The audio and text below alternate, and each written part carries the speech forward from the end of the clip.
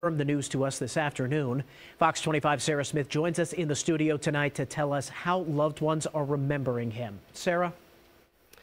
Dan RSV has been in national headlines lately because of a surge in cases, but for the El Reno community, it hits home. It's a hard time right now for everyone, for the whole community. Um, everybody that knew Daniel, it's that loved him. Loved ones are mourning the loss of El Reno seventh grader Daniel Mayfield. They say he died from RSV on Tuesday night.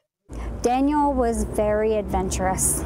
He was an outgoing kid. Anybody he met, come in contact with, uh, he made friends with. Doctors say RSV is most common in children under the age of two, but it's also dangerous for teens and adults. Symptoms include a low grade fever, coughing, and wheezing.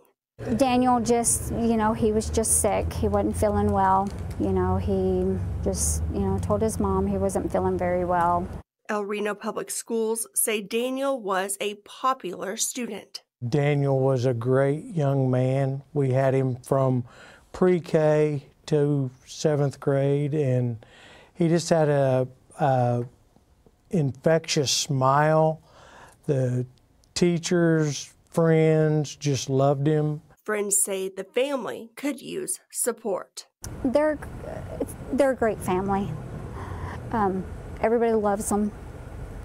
Everybody loves Daniel. Everybody's going to miss Daniel.